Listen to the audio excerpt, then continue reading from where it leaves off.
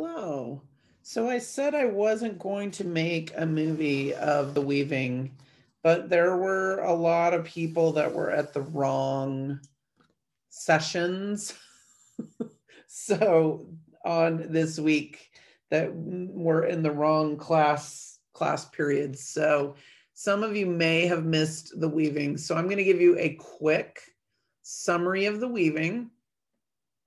Um, we talked about how in early California, people who were wealthy wore clothes that were made out of silk. The clothes were traded um, back and forth. Um, silk was generally created in China from silkworms. And I will post the videos that go with the silkworms and the videos that go with the weaving um, so that you can watch them. So silk was traded with early California um, for otter furs and for other things that could be found like leather from the cowhides.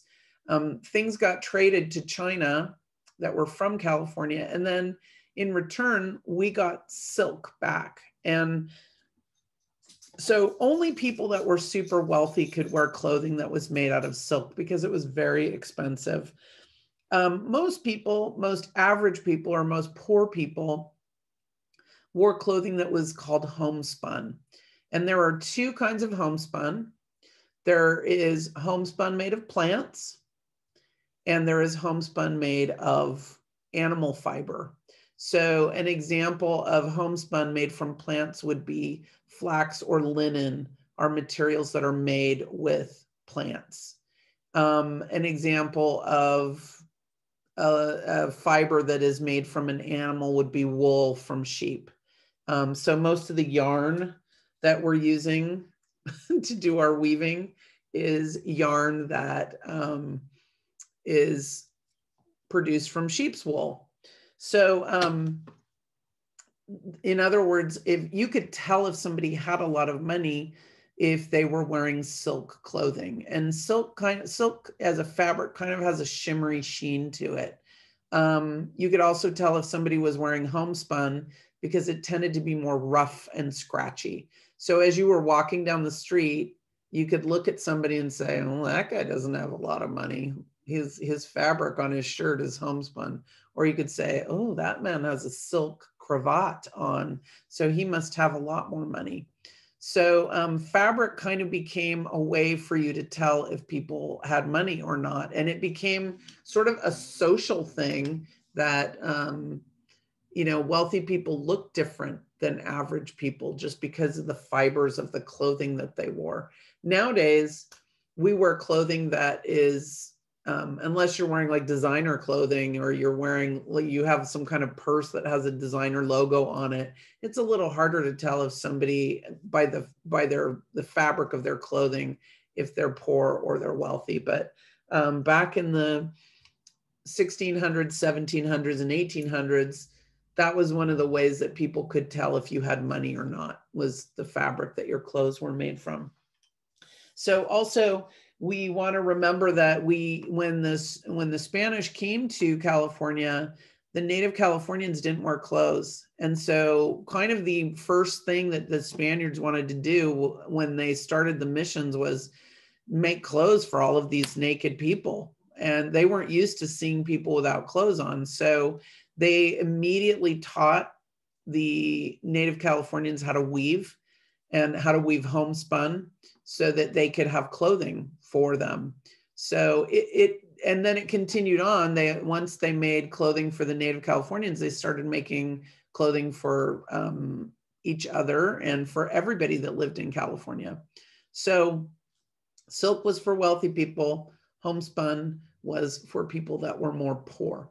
Um, you guys are going to weave a pouch.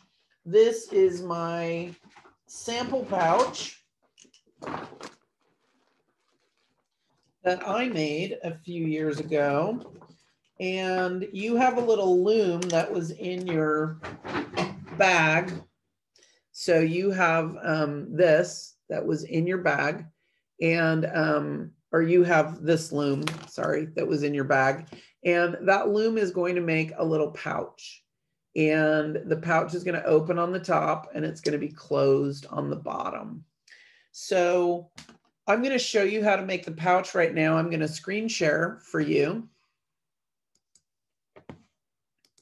so that you can see if you were not at the session or if you were late or if you were in the wrong session.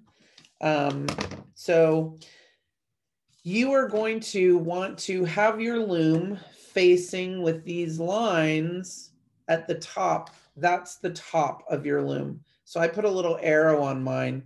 This is the top. You can see that I have these horizontal lines. They're kind of like upside down U's, and these have to go near the top. This is the part of the pouch that opens, okay? It will automatically open.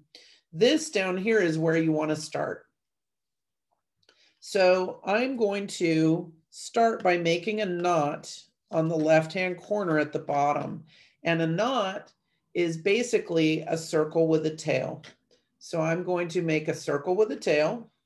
I'm going to pull it through. And then I'm going to do that again. So I'm going to make a circle with a tail. And then I'm going to pull the tail through. Now, weaving is a process of going over and under and over and under. And so I'm going to go ahead and I'm going to lick my yarn here, and then I'm going to poke it through my, this is called a shuttle. It's really a popsicle stick, but in weaving terms, it's called a shuttle. So now I've threaded this like a needle, okay? And so I'm going to go down here at the bottom. I'm going to start out with under, over, under, over, under, over, under, over, under. And I'm just alternating and you can see that my stick is going under, over, under, over, under, over. And it doesn't matter which you start with. Then I'm going to pull it through.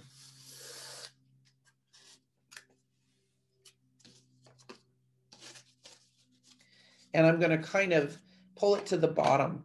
Now I'm going to turn my loom over. Okay, so I'm turning it over to the other side and I'm going to do the same thing over here. Under, over, under, over, under, over. It doesn't matter which you start out with. And I'm going to pull it across.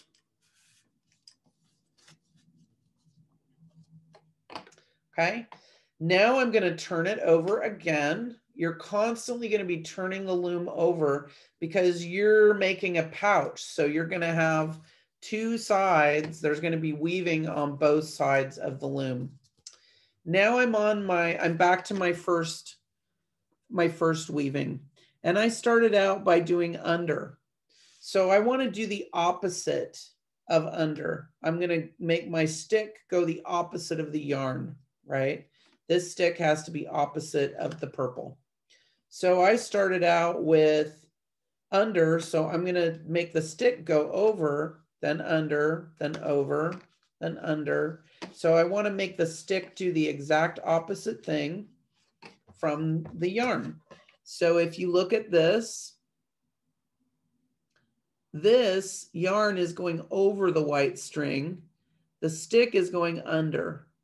So you want it to be exactly opposite. This one, the purple is going under the white string and the stick is going over. So it has to be doing the opposite for you to actually be weaving. Now I'm going to pull it through and I'm going to tamp it down. And then I'm going to turn my loom over. We're not making a rug, we're making a pouch. So we're going to turn it over and now I started out with under, my purple is going under the white string. So I'm gonna do make my stick go over. And I'm going over, under, over, under, over, under, over, under. I'm double checking to make sure that my stick is opposite of the row that I just wove. So if this purple is on top, I went over, the stick is under, right? So I'm just double checking that I'm doing the opposite thing. If you do the same thing on all the stitches, it will fall apart. It won't make a pouch. So you have to make sure that if you went over on this purple, the stick is under. And then I'm gonna pull it through. Okay, then I'm gonna come over to the next side. So I've turned it over again. I'm on the next side. My last stitch was over, so that means my stick has to start out with under. So I'm going under, over, under, over, under, over. And I'm just checking to make sure. See on this last stitch, my purple went under the white string. So now my stick has to go over. It has to be doing the opposite.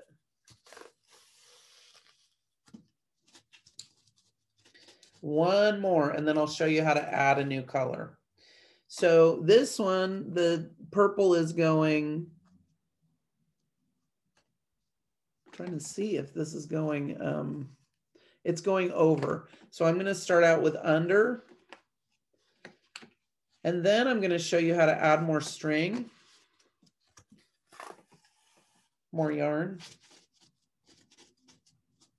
And you wanna always sort of tamp it down because you want it to be really tight.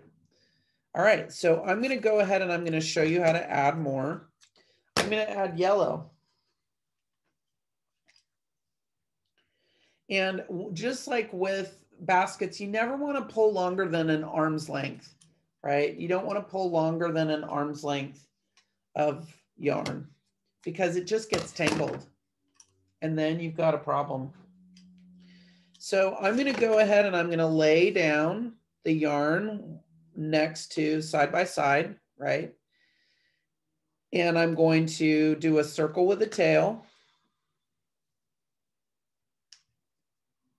That's what a knot is. It's a circle with a tail. And then I'm going to pull the tail through the hole. And I want to pull both colors through the hole. And so it looks like that. And that's how you make a knot. Then I'm going to pull it tight and I'm going to trim it.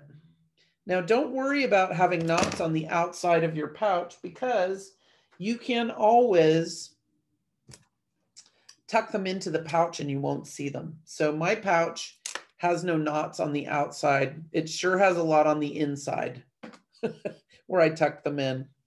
All right, and then I'm going to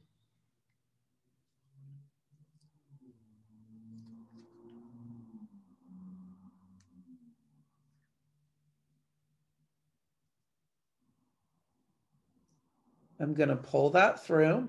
And now I'm just going to do my weaving with the yellow. So I, uh, my last one was under, so I'm going to start out with over. I'm going to double check it to make sure that whatever I'm doing with the stick is the opposite of what happened with the last yarn that passed through. And then I'm going to pull it through. And it's a little hard to pull the knot through. It'll want to get stuck, but once you get it through, so now you can kind of see the knot here. I'm flipping over to my next side. This is under, so I'm starting with over. And I'm going to pull this through and tamp it down. And then you start having, the, this is one that's been done a little bit. So you want to really start pulling it tight. You can kind of see my knots.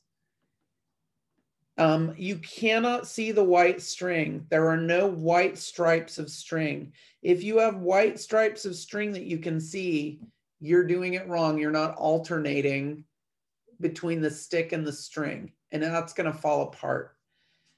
You can also see that I have stitching on both sides. If you only have stitching on one side, you're making a little rug, and that's not what we're doing. We're turning the loom each time and we're weaving around the cardboard so that we have weaving on both sides. You guys can see that I have it on both sides, right? Okay. All right.